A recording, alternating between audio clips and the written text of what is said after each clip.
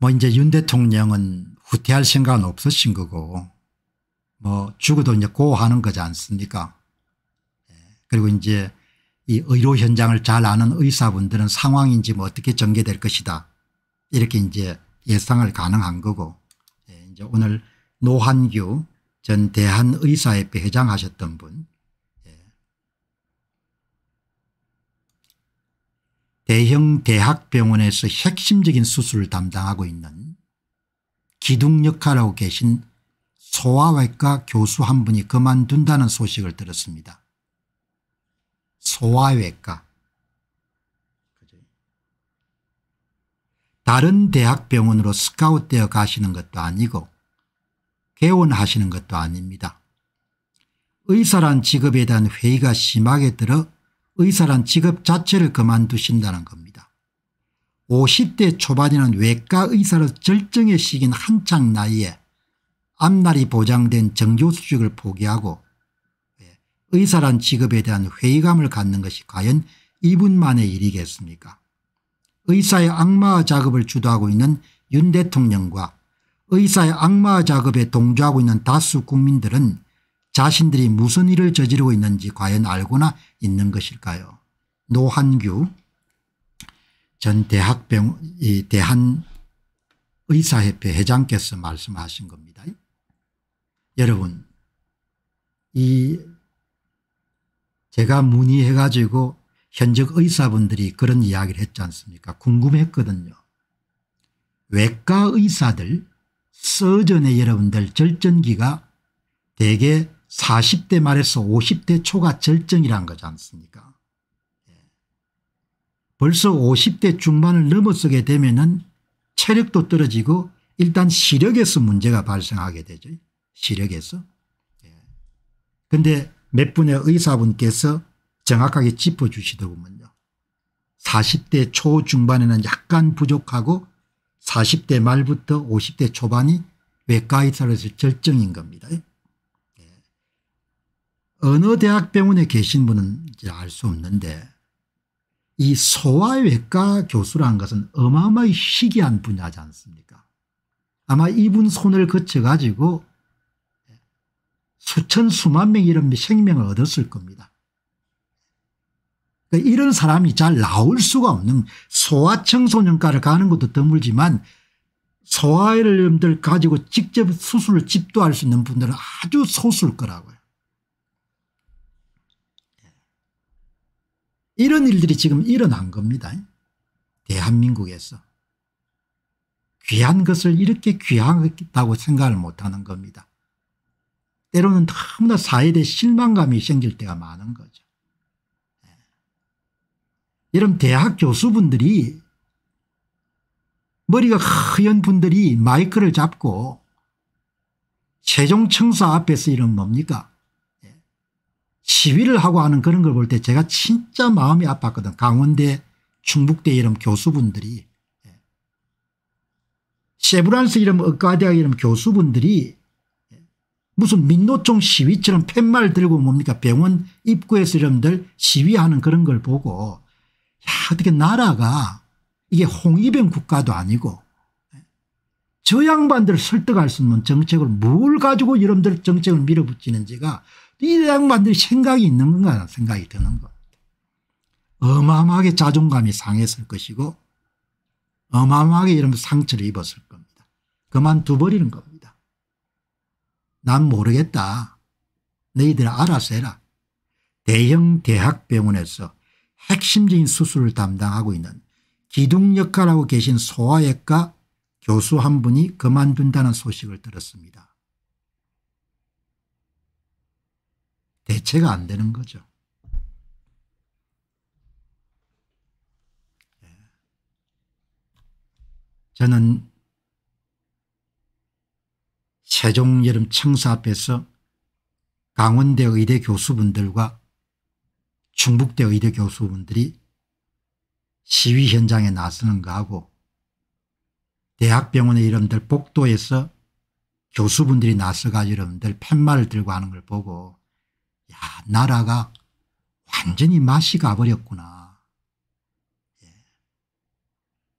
젊은 날에는 공부 죽도록 했을 것이고 본과 인턴 전공의 전문의 시절 동안 항상 마음, 마음 이러는데 전부를 걸고 공부를 했던 저 양반들이 정치 권력 앞에서 이러면 아무 한글을 못하고 팻말을 들고 여러분 항의를 해야 될 정도니까 저 양반들이 무슨 생각을 할까 하는 생각이 드는 겁니다. 나라가 이런 상황까지 간 겁니다. 예. 이제 이분 손을 거쳐 가지고 생명을 얻을 수 있는 사람들이 수백 수천 명이 사라지는 겁니다.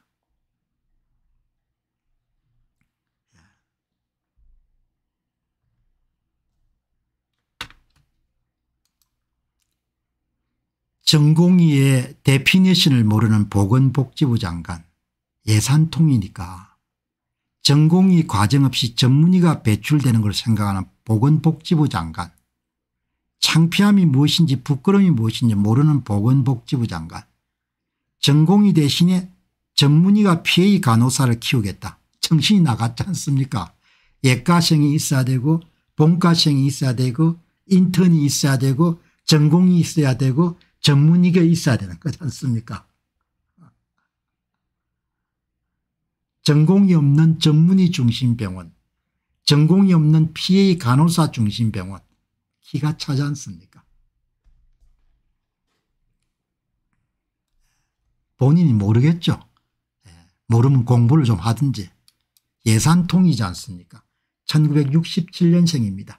제가 거듭 말씀드리지만 시간이 좀 지나면은 예, 그렇게 사람들이 다 이구동성으로 이야기할 겁니다.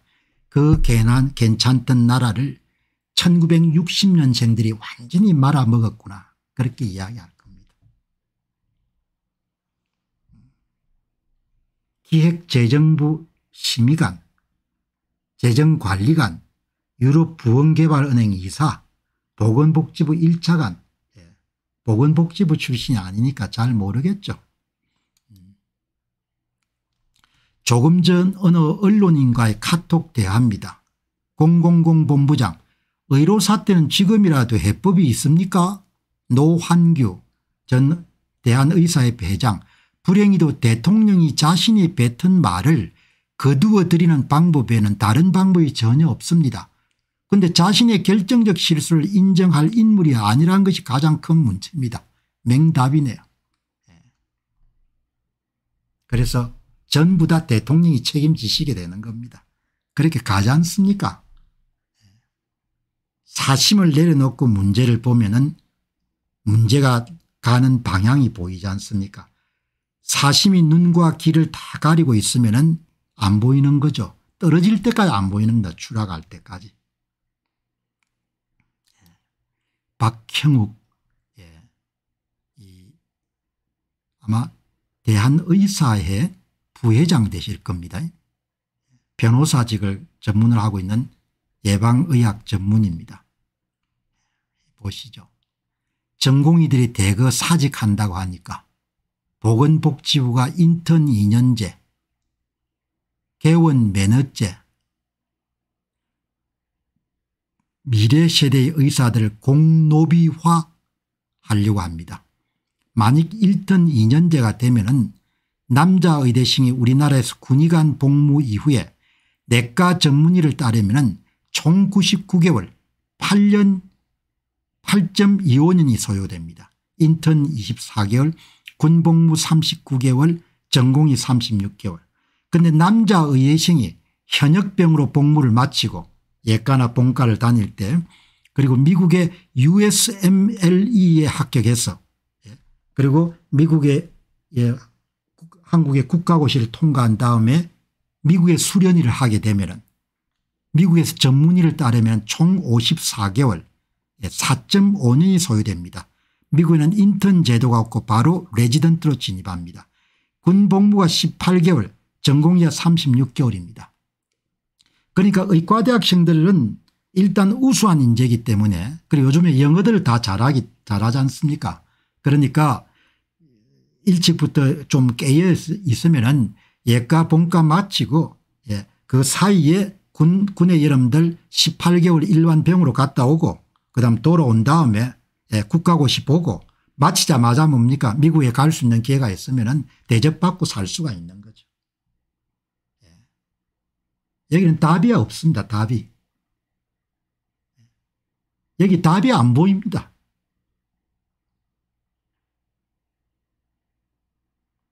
내가 이름 아들이나 딸이 이름 의사를 하게 되면 그렇게 이야기하겠죠. 답이 안 보입니다.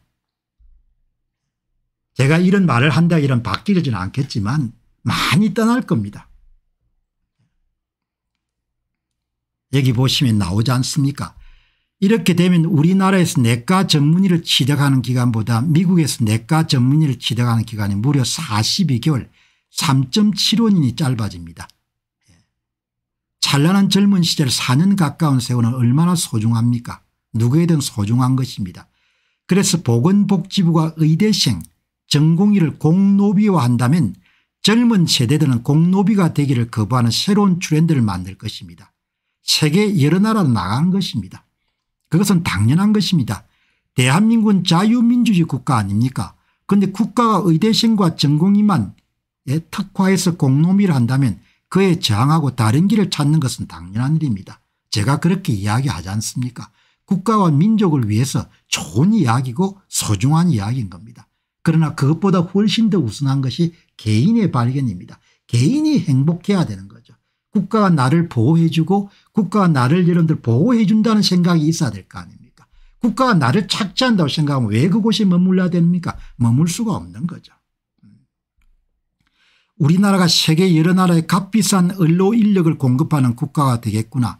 우리나라 의료는 망가지고 다 이러면 한국 사람들은 똘똘하기 때문에 출구를 다 찾습니다. 그리고 의과대학 가는 양반들은 기본적으로 뭐 고등학교 입학 성적이 뭐가 그렇게 중요하냐 이렇게 말씀하시더라도 진짜 중요합니다. 그게 왜 그런 거 하니까 한 인간이 예 최대한 노력해서 여러분들 소위 확 장할 수 있는 일종의 캐파를 나타내는 평균치기 때문에.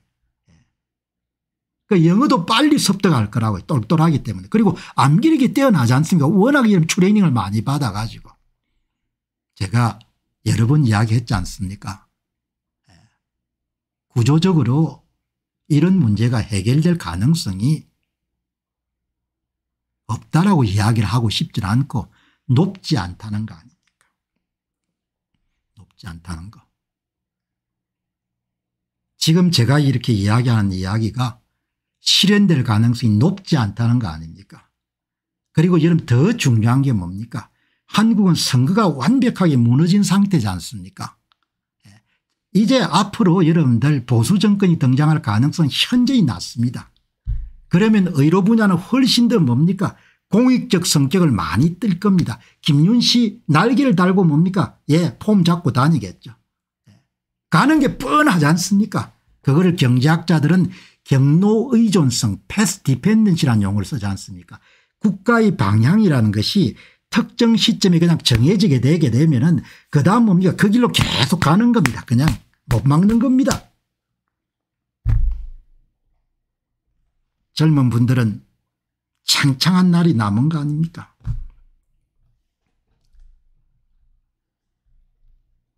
방향선에 쉽지 않습니다. 대다수 동족을 노비로 부렸던 조선 그것을 이어받아 자유 대한민국이 미래의 의사들을 공노비로 만들겠다 하는데 아무런 부끄러움을 느끼지 못합니다. 부끄러워하지 않는 거죠. 선거를 도둑질해도 부끄러워하지 않으니까 손발 다 드는 겁니다. 부끄러워하지 않는 겁니다. 거짓말 하더라도 부끄러워하지 않는 아무도 부끄러워하지 않는 겁니다. 과학적 근거를 가지고 2천명 정원에 총 1만 명을 늘리기로 했습니다. 다 거짓말인데 아무도 부끄러워하지 않는 거예요. 거짓말이 다 드러났는데. 예? 의사단체들하고 수차례 걸쳐서 회비를 했습니다. 전부가 다 거짓말 들었는데 아무도 부끄러워하지 않는 겁니다. 나는 진짜 여러분들 뭡니까 예. 정직함이란 게 한 톨도 남지 않은 그런 사회를 보는 겁니다. 거짓말이라는 것이 그냥 몸에 배어가지고 그냥 유전자가 된 겁니다. 거짓말이. 예. 오늘 여기에 박형욱 부회장께서 쓰신 글은 정말 여러분들 핵심을 찌르는 거지 않습니까 예. 그렇지 않더라도 평사병이 18개월 근무를 하는데 공군이 20개월인데 어떻게 여러분들 38개월 예? 근무를 시키냐 이야기입니다. 다 여러분들 알아서 갈 겁니다. 젊은 사람들은 똑똑하니까 자기 인생을 자기만큼 여러분들 고민하는 사람이 없겠습니까 예. 아무튼 간에 예.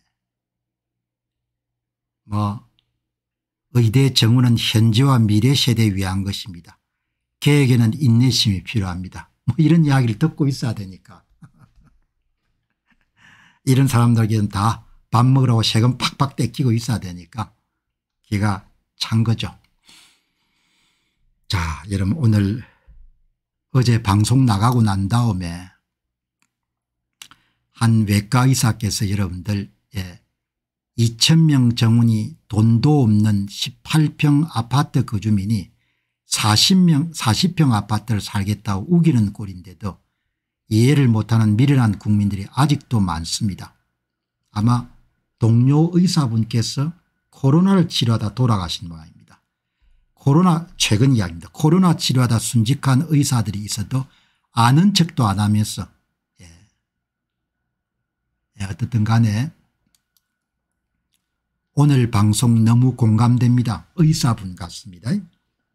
수술하는 의사 교수님들이 거짓입니까 수술표를 사용하면 비용을 왜 안 줍니까 주사기 사용 비용도 지불하지 않는 거 아십니까 환자한테 사용한 주사기 비용도 왜 안 줍니까 심사평가원의 한 말이 숫가에 다 녹아 있답니다.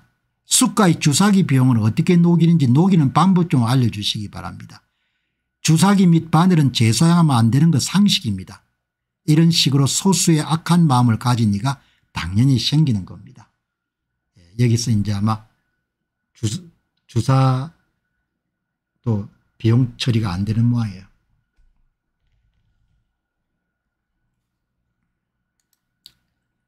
이 의사들 과로와 우울증 때문에 본인도 지키기 어려운데 어떻게 환자를 지키겠습니까 그 옆을 지켜보는 가족들 역시 피눈물 흘리고 있는 현실입니다. 아마 제가 이제 언젠가 이 환자들을 치료하는 과정에서 특히 이제 필수 의료과 같은 경우는 마음의 상처를 굉장히 많이 입을 것 같아요.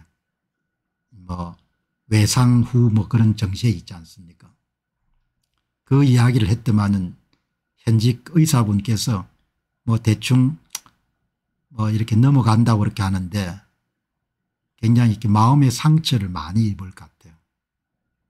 환자를 이렇게 계속 치료하다가 굉장히 열심히 치료했는데 환자가 갑자기 이제 상태가 악화돼가 떠나는 거죠. 언젠가 서울대 소아 외과 교수님이 환자를 떠난 아이를 떠나보낸 그런 심정을 토로하는 것을 영상으로 본 적이 있는데 그게 이제 일상일 거라고요. 그러니까 그게 사람이 강철이 아니니까 사람이 기계가 아니니까 환자를 치료하다가 환자를 꼭 살리고 싶는데 예, 그 환자가 그냥 갑자기 이제 절명하거나 그렇게 하면은 엄청나게 이렇게 심리적으로 타격을 받을 거라고요. 그게 마음에는 다 상처가 되지 않습니까?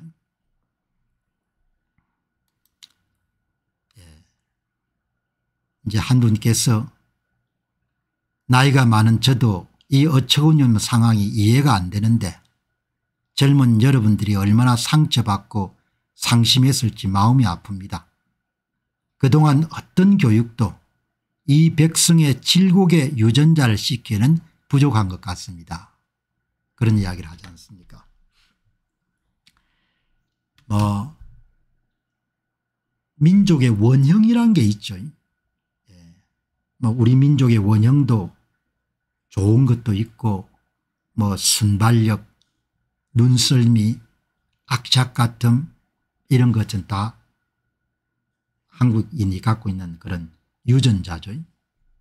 이번도 보면 파리올림픽에서 다 활, 총, 칼 다 1등 하지 않습니까 예. 그리고 사회주의가 다 망해도 뭐죠.